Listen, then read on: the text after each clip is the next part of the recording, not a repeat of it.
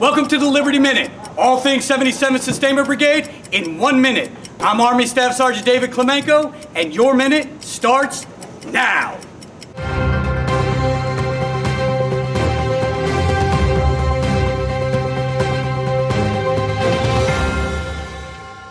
So all of you remember the airdrop where we went in the air and we dropped supplies down to the warfighters. Well, there's an entire backstory to how those airdrops are prepared.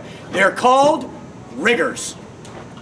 So I'm here with Chief Hamill. Chief, welcome to the program. Thank, Thank you. you. so much for being on the Liberty Minute. Thank so first and foremost, I know the audience out there is looking at your red hat and wondering, what is the red hat? Can you uh, can you tell them uh, where it came from and why you guys wear a red hat? Sure. So briefly, um, the red hat just signifies the parachute rigger is authorized only for us to wear. Um, it helps identify that parachute rigger quickly if we're out supporting an airdrop, airborne operation. So if there's an issue with that parachute, the jump master would find an issue, say, or uh, a load that's going out that plane the load master, that jump master could easily identify the parachute rigger per the red hat, get their attention, say, hey, can you look at this, can you fix this? Which is our specialty, we come over, we fix it, you know, makes us easy identify, easily identifiable. Perfect. So, so let's back up two seconds for them.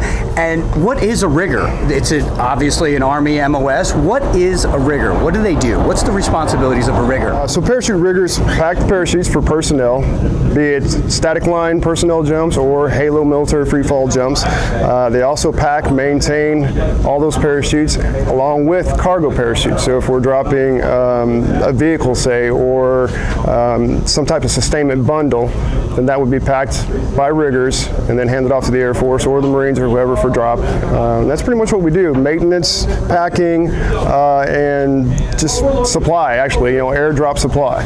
Outstanding, Chief. So thank you. Anything you want to say to the folks back home, family back home?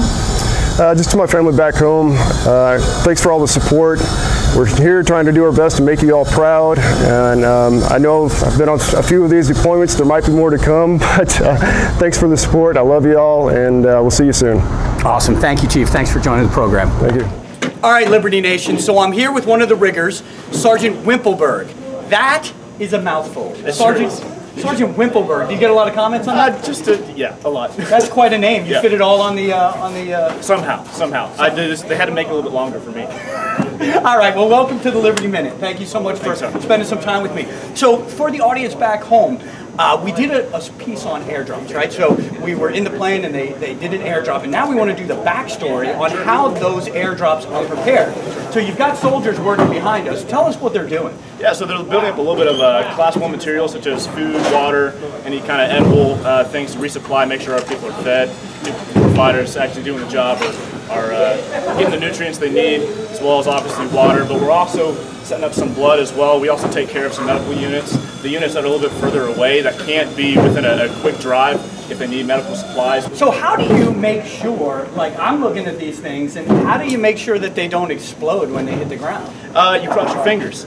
No, I'm, I'm kidding, I'm kidding. No, we, uh, we use a, a very um, profound uh, parachute system. Um, it's a low-cost system, so it's actually biodegradable. It's something we can leave out in the field. We don't have to worry about it. There's nothing recoverable. You just, uh, once it lands, you cut off uh, the straps, take what you need, and you can leave. Um, it's very reliable. We've been using it for years, and we'll continue to do so. How long have you been a rigger? I've been in for five years as a rigger. As a rigger, you love it? I sure do. I love it. Yes. Do you have a shout out you want to do to the folks back home? Uh, it's the first riggers. You guys, uh, you guys keep it going. Reserve riggers all the way. Um, just keep fighting the good fight. How about the, any family members back home? Do you want to say anything to them? Hi, mom. All right. All right. That's for you, mom. Awesome. Thanks for joining the program. Thanks, Sean. All right, thanks for joining another episode of the Liberty Minute. I'm Army Staff Sergeant David Klemenko, and you're. is up.